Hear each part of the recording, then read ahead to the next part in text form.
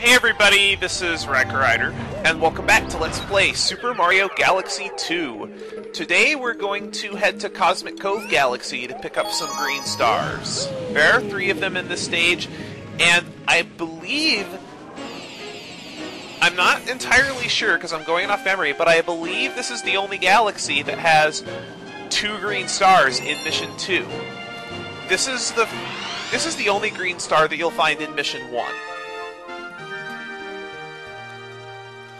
Remember those twin waterfalls? You can actually see the green star in the intro, and it's essentially a carbon copy of the first uh, real star in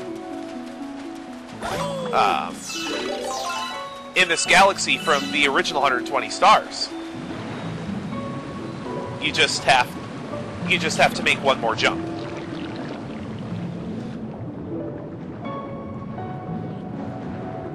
So this is essentially going to be the same thing as uh, episode number what was it?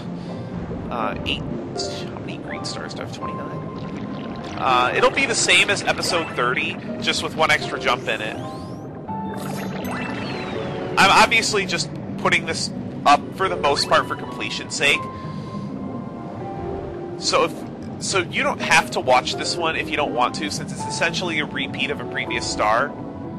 But for people who just want to see where the green stars are, or just watching for fun, you can do that.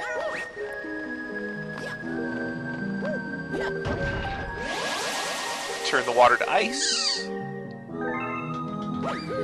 And I may as well ice skate because it gets me there faster.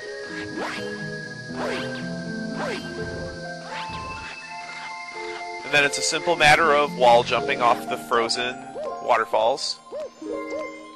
It's not as badass as it was in Super Mario Galaxy because you're not actually wall jumping off waterfalls, you're wall jumping off ice falls. Can't adjust camera. Not quite aligned yet. There we go, now we're aligned. And there's star number 150, I think? Yeah, 150.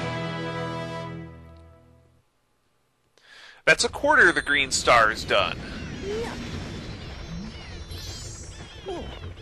Yeah, Yeah, all the green stars in Cosmic Cove Galaxy are pretty trivial. So I'll see you for the second one.